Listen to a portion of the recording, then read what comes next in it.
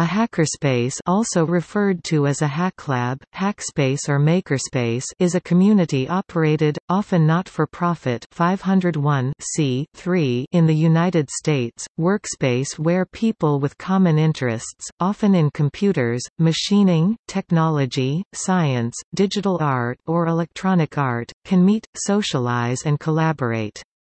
Hackerspaces are comparable to other community-operated spaces with similar aims and mechanisms such as Fab Lab, Men's Sheds, and commercial for-profit companies such as TechShop.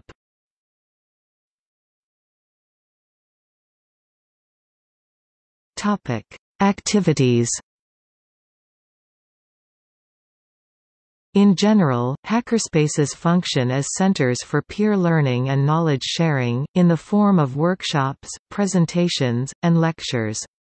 They usually also offer social activities for their members, such as game nights and parties.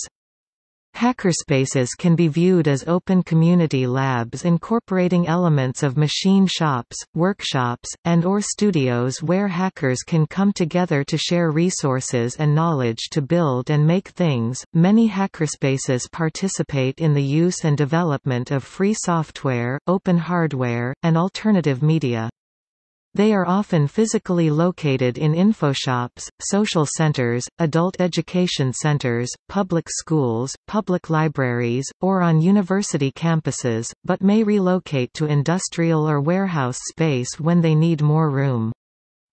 Hackerspaces with open membership became common throughout Germany in the 1990s in the orbit of the German Chaos Computer Club (CCC), with the C-Base being probably an example. The concept, however, was limited to less than a dozen spaces within Germany, and did not spread beyond borders at first. Most likely this was because initial founding costs were prohibitive for small groups without the support of a large organization like the CCC. In 2006, Paul Bohm came up with a fundraising strategy based on the Street Performer Protocol to build Metalab in Vienna, Austria, and became its founding director. In 2007, he and others started hackerspaces.org, a wiki-based website that maintains a list of many hackerspaces and documents patterns on how to start and run them. As of September 2015, the community list included 1967 hackerspaces with 1199 active sites and 354 planned sites. The advent of crowdfunding and Kickstarter has put the tools required to build hackerspaces within reach of an even wider audience. Those tools are for example used by Bilal Ghalib, who had previously worked on a hackerspace documentary, and others to bring the hackerspace concept to the Middle East. Most recent studies of hackerspace in China—where Internet access is heavily censored, suggest that new businesses and organized tech conferences there serve to intervene in the status quo from within the first hackerspace in China, Xinshijian, opened in Shanghai in 2010. Thereafter a network of hackerspaces emerged, nourishing an emerging maker culture. By designing open technologies and developing new businesses, Chinese makers make use of the system, make fun of it, altering it and provoking it. DIY makers often bring and align contradictory ideas together, such as copycat and open source, manufacturing and DIY, individual empowerment and collective change. In doing so, they craft a subject position beyond the common rhetoric that Chinese citizens lack creativity. As a site of individual empowerment, hackerspace and DIY making enable people to remake the very societal norms and material infrastructures that undergird their work and livelihood.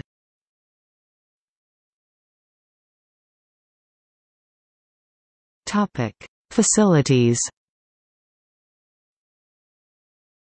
The specific tools and resources available at hackerspaces vary from place to place.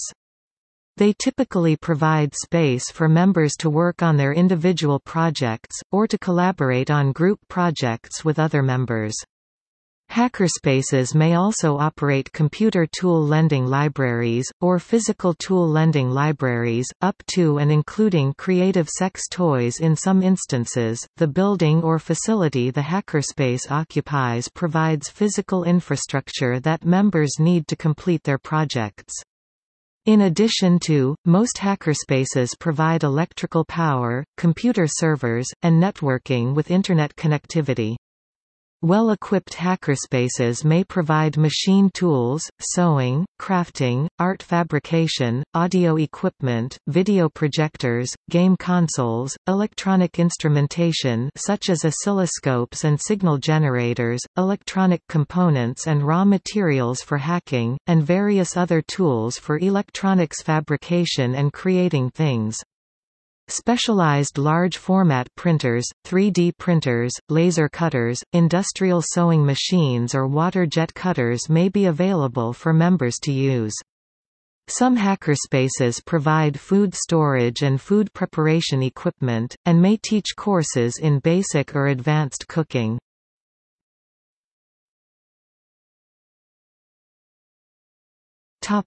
Organization The individual character of a hackerspace is determined by its members. Many hackerspaces are governed by elected board selected by active members in good standing.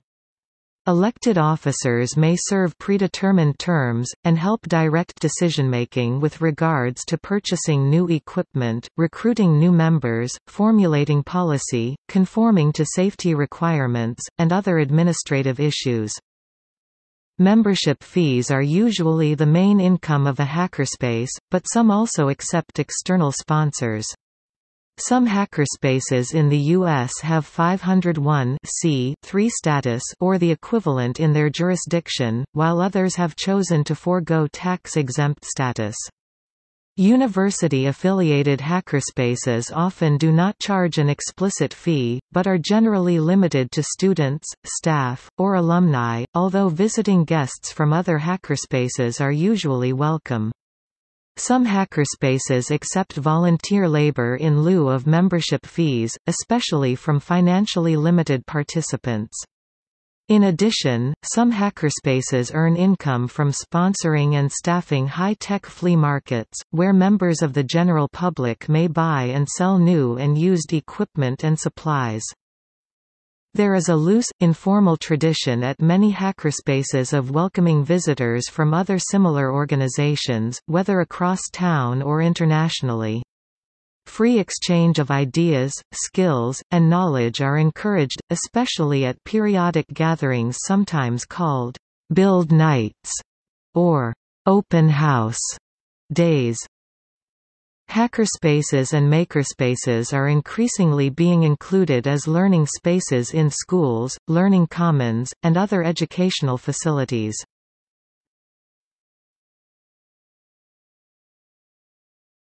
Topic: Ethic Hackerspaces are widely defined on hackerspaces.org as community-operated physical places, where people can meet and work on their projects. The exact functioning of the space varies from place to place and is determined by its members and while there is no blueprint or set of guidelines to create a hackerspace, they generally follow a hacker ethic, which include freedom, in the sense of autonomy as well as of free access and circulation of information, distrust of authority, that is, opposing the traditional, industrial top-down style of organization, embracing the concept of learning by doing and peer peer-to-peer -peer learning processes as opposed to formal modes of learning, sharing, solidarity and cooperation.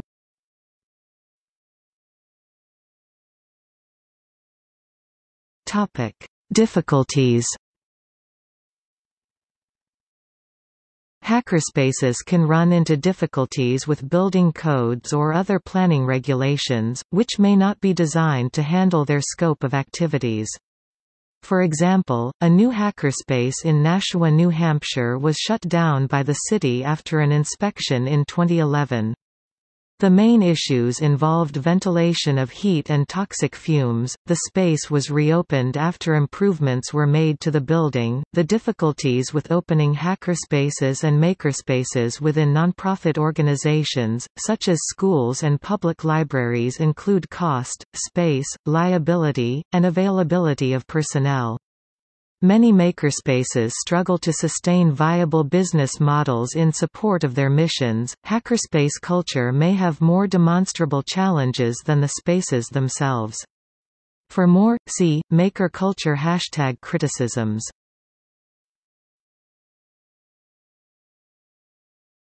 Topic: Notable hackerspaces. Over the years, many hackerspaces have grown significantly in membership, operational budgets, and local media attention. Many have also helped establish other hackerspaces in nearby locations. C-Base from Berlin is recognized as one of the first independent, standalone hackerspaces in the world, not affiliated with a school, university, or company. Wired writes that European groups, particularly in Germany, have a long tradition of this kind of activity. Another known German hackerspace is Raumzeitlabor, organizer of Trollcon. The Geek Group, formed in 1994, is a budding nonprofit hackerspace in Grand Rapids, Michigan that has a large following and Internet presence. There are various chapters around the United States. Their main focus has been as an open-source hackerspace to increase STEM education accessibility and one day become an accredited institution of higher education. Metalab, founded in 2006, is generally considered to have pioneered the funding principles that enabled rapid spread of the concept. TechShop was the first chain of commercial hackerspaces. It was launched in October 2006. As of October 2012, there were six TechShop locations in the U.S., three in California and one each in North Carolina, Michigan, and Texas, the last a partnership with the Lowe's home improvement chain. In August 2007, a group of North American hackers visited Europe to get a sense for the potential of European hacker spaces and upon their return, the groups NYC Resistor and HACDC were set up in late 2007, with Noisebridge following in fall 2008. Dallas Makerspace DMS was founded by members of the Dallas Personal Robotics Group DPRG in 2010. As of summer of 2017, it has a paying membership base of 1,500 making it one of the largest, if not the largest, nonprofit, volunteer-run makerspaces in the country. According to Dallas Morning News. The first Chinese hackerspace Xinshijian was established in Shanghai in the fall of 2010. Thereafter hackerspaces have grown in numerous cities including Beijing, Shenzhen, Ningbo, Hangzhou and Guangzhou. Chinese makers became internationally visible when the first Maker Carnival was hosted in Beijing in 2012. Columbus Idea Foundry moved into a 65,000 square foot factory in Columbus, Ohio on May 22, 2014. By one account, it is the country's largest such space. Artisans Asylum Somerville, Massachusetts, was once believed to be the largest makerspace in the world.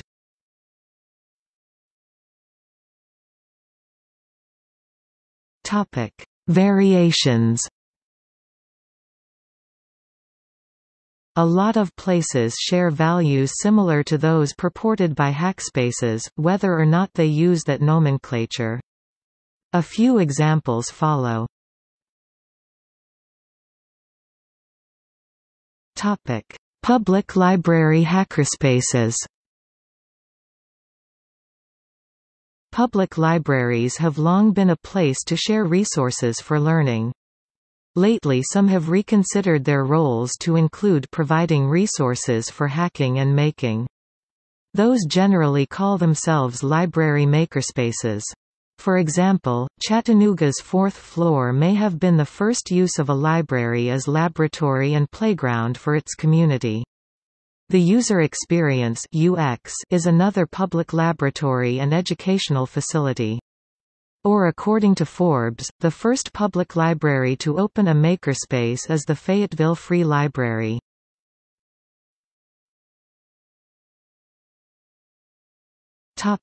Men's sheds There are over 1,000 active men's sheds in Australia, Scotland, England, Ireland, Finland, and Greece, as of 2012. Instead of seeing themselves as hackers, they describe themselves as shedders, and their activities as shedding. The Men's Sheds movement is many ways parallel hackerspaces in their aims, although open to anyone regardless of age or gender, they tend to advertise themselves as men in sheds. In some ways they can be seen as the flip side of working men's clubs, as their community is drawn from a similar age group and their original aims are similar, to provide recreation and education for working class men and their families.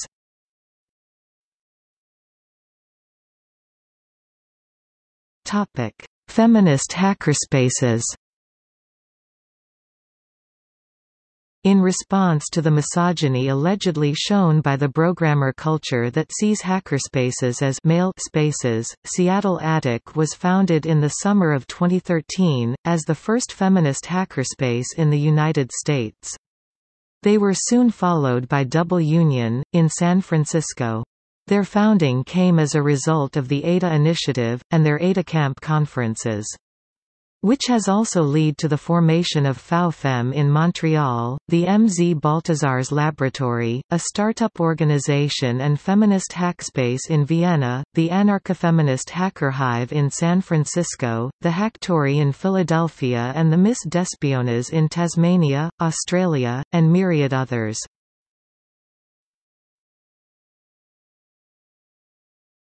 Topic: Public school maker hackerspaces. Some public schools in the U.S. now also include hackerspaces. The first high school to open a true makerspace was in Sebastopol, California, and now even middle schools are starting to follow the trend. For example, Whitehill Middle School in Fairfax, California has now opened up their own makerspace with a class called Makers and Hackers. In 2018 Penketh High School became the first school to have a school makerspace in the United Kingdom. Spark was designed for students and the community being the first of its kind in the UK.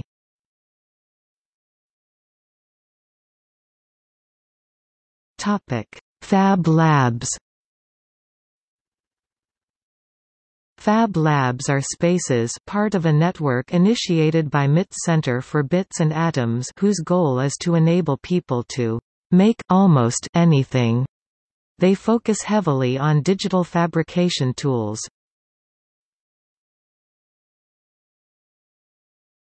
Topic: Community art spaces. Many community art spaces share values with hackerspaces. Some, like AS220 and Haystack Mountain School of Crafts have embraced Fab Lab structures to expand the range of media represented in their spaces to include digital fabrication tools.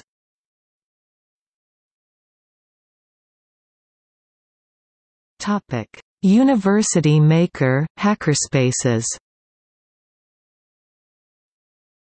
Universities around the world have at different rates embraced educational possibilities of these spaces.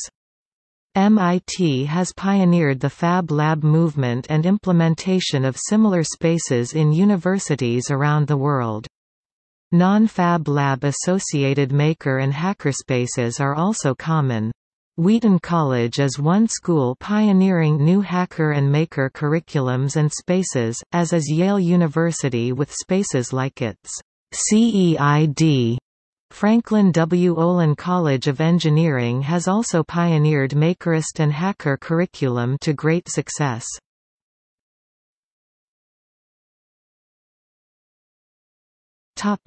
Makerspaces Makerspaces and hackerspaces as terms are often conflated, and the difference between them, or if in fact there even is a difference, is debated. Worldwide, a large number of makerspaces have been founded in the past years. From 2006 to 2016, the number of makerspaces is reported to have increased to over 1,400 such spaces, 14 times as many as in 2006.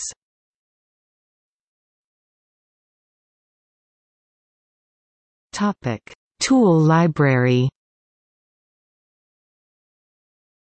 Tool libraries generally don't have shared space for making or hacking things, but are instead serve as a repository of tools people can borrow for use in their own respective spaces.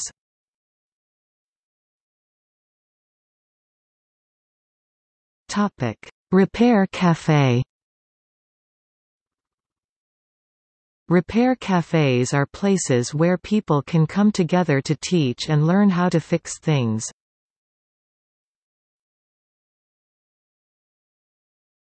Topic: Bicycle coops.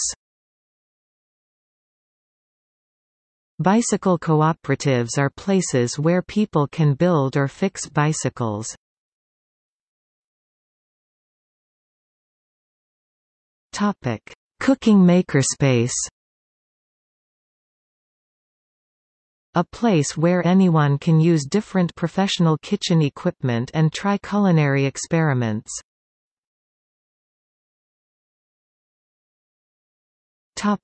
See also Hacker culture Hackerspace Global Grid Maker culture Maker Faire Tinkering School